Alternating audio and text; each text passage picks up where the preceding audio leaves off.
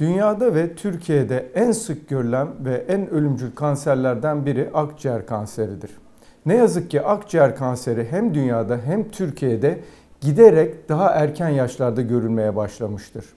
Eskiden biz hastalarımızı 50 ve 60 yaş üzerinde akciğer kanseriyle e, görürken şu an bu yaş 40'lara ve 50'lere düşmüştür. Akciğer kanseri %90 oranında tütün ve tütün ürünlerinin kullanılmasıyla meydana gelmektedir. Tütün ve tütün ürünleri dediğimiz zaman bunların içine sigara, nargile, piro, elektronik sigaralar son zamanlarda çok kullanılıyor. Bunların hepsi girmektedir.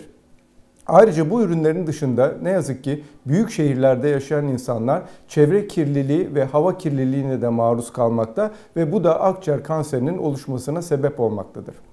Akciğer kanserinin oluşmasında tabii ki bütün sebepler bunlar değildir. Bunun dışında genetik sebepler de vardır.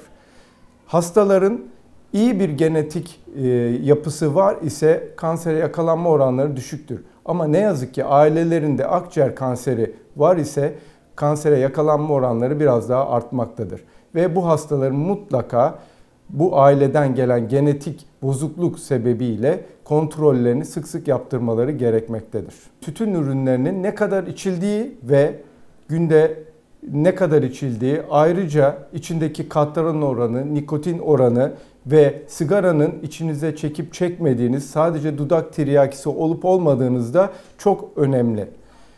Yapılan araştırmalar göstermiş ki günde bir paket sigara içen bir kişinin akciğer kanserine yakalanma olasılığı %10-12 civarında iken günde iki paket sigara içen bir hastanın yakalanma oranı ise %20-25'lere çıkmaktadır.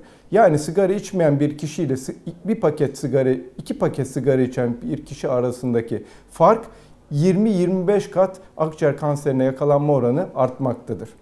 Akciğer kanserinde görülen semptomlar nelerdir? İnsanlar, hastalar hastaneye ne şekilde ve nasıl başvurmaları gerekiyor? Neler olduğunda başvurmaları gerekiyor? Bunların içinde tabii ki akciğer kanserinde en önemli sebepler uzun süre geçmeyen öksürük, nefes darlığı, balgamla karışık ya da direkt olarak ağızdan kan gelmesi, kilo kaybı gibi e, bulgular en önemli bulgulardır. Kan gelmesi genellikle veremle karıştırılır.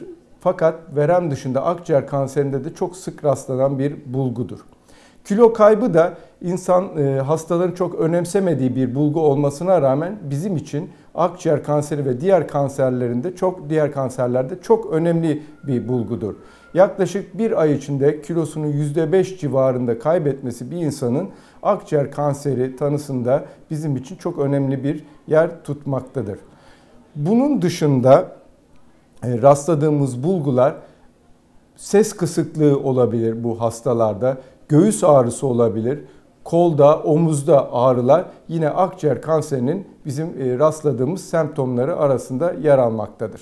Ne yazık ki hastalar doktora başvurmakta geç kalmaktadırlar. Geç kaldıklarından dolayı da akciğer kanseri sinsi bir kanserdir ve hızlı ilerlemektedir. Bu yüzden ileri evrelerde bize geliyorlar hastalar ve bu sebeple biz hastaların ne yazık ki %25'ini yani yaklaşık dörtte birini ameliyat edebiliyoruz. Diğer hastalar kemoterapi ve radyoterapiye gitmektedirler.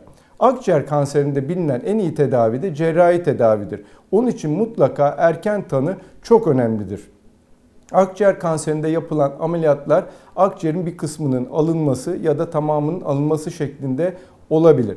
Bu hastaların solunum fonksiyon testleri ve diğer testlerin değerlendirilmesiyle ortaya çıkmaktadır. Akciğerin tamamının bir tanesinin tamamının alınması bile hastanın yaşamını devam ettirmesi için yeterli olabilir. Bir şey daha belirtmek isterim ki pasif içiciler de bu akciğer kanserine yakalanma riskine ne yazık ki sahiptirler. Annesi, babası içen çocuklarda akciğer kanseri görülme olasılığı pasif içicilik nedeniyle e, artmaktadır. Bunun için akciğer kanserinden korunmada sigara ve tütün ve tütün ürünlerinden uzak durmak pasif içiciliği de e, ortadan kaldırmak en önemli koruyucu yöntemler arasındadır. Müzik